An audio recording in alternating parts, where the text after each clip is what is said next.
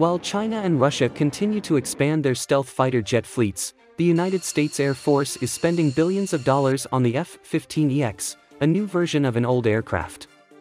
The F-15EX is an improved version of the world's most effective air superiority fighter. The aircraft has a 70,000 feet operating ceiling, a top speed of 2.5 Mach, and an effective range of more than 1,260 miles. The improved version of a nearly 50-year-old aircraft is less expensive than the fifth-generation F-35, which currently costs around $1.7 trillion for the entire program, including operations and maintenance. The Pentagon has repeatedly stated that the F-15EX is not a rival to the F-35. Rather, the two aircraft are meant to complement one another in order to maximize their effectiveness.